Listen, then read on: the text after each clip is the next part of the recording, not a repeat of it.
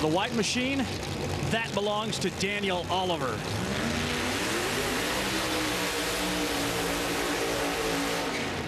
And the center point collision machine, that of course is Tony Bartone. Let's check in down to the farm with John Kernan. And Jay Payne getting ready to take his helmet off. I should mention uh, only win last year came here at Pomona and only uh, final came last year came here at Pomona. So uh, you must like this place, Jay. That was a much smoother looking ride there. Yes, where to run? You ran a uh, 51 with an 8. Great. That's absolutely awesome. We have to say hello to Michael, which is recovering from being sick, and we miss him. So, but yeah, the, the crew's doing a great job. The car ran flawless, and whew, thank goodness. We'll see you in the finals. Of course, Jay Payne will be doing double duty once again. The Get Screen America Pro Mod Drag Racing Series has a brand new race car getting set to take down to Valdosta, Georgia and test. Pro Mods make their debut in Gainesville. Rick Jackson, the car owner right there, and Steve Boggs, the wizard, the crew chief right there taking a look down track. I said, if you guys got a handle on this, he said, we better. That kid's going to send us home. Bartone and the center point collision machine Outstanding performance so far, running out of the number one spot here at a racetrack that has been very kind to number one drivers here in the alcohol funny car class historically. Ask Daniel Oliver, hey, why the big change? Qualified with that 572. That's moved this thing to a 552. He says about the only change is we put some Autolite spark plugs in it this morning. I'm like, really?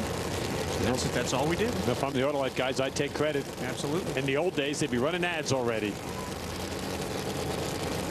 Randy Goodwin and it's a very solid race car. Aren't too many times Tony Bartone comes into a round and you see him with a guy that can run with him.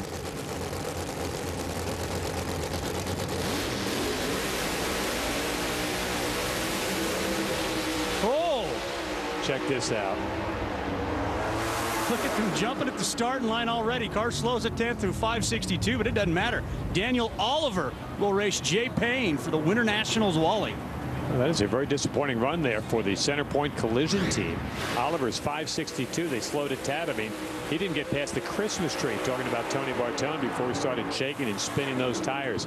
And even though they gave up a tenth of a second, Oliver and the entire team there into the championship round with Randy Goodwin, a guy that for years loved coming down here to the starting line. And watch out, you can slip and fall up there. Look out. That's, oh, I tried to help him out. He tried to fall there, but for Tony Bartone, that's a team that won six times last year, has to like this new point system. But across the country, top alcohol funny car drivers are saying, oh, okay, we still have a shot here.